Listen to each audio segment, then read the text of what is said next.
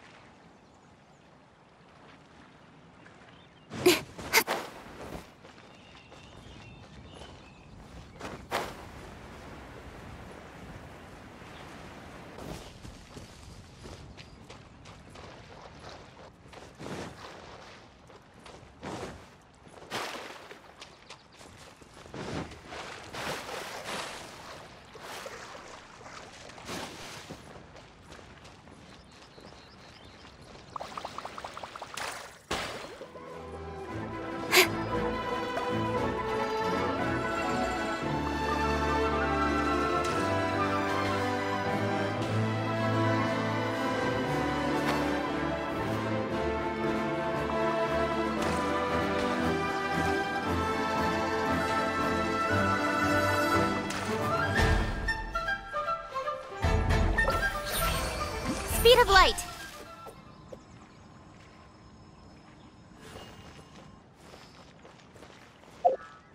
Yeah.